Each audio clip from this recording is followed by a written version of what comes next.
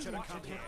This highly over- Thought I heard die for my... By the Divines, the Forsworn are here in the city. He he tried to kill Margaret, right in front of me. No. She's such a nice woman. Comes by every day looking for jewelry for her family in Cyrodiil. Is it because she's a noble? Why would anyone want to kill her? It doesn't make any sense. Everyone, What's happening back. to this city? Markarth City Guard have this all under control. There Still here. Forsworn Lead on. We'll handle things from here. Move By along. the gods, that man near... Thank you. Here. I've heard... I'm sorry. I don't... No. I don't... No.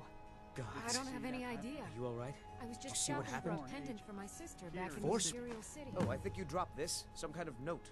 Looks important. Hmm? No. I was just getting some fresh air. What do you need? Had one too many pints of mead at the next Silver time. Blood Inn.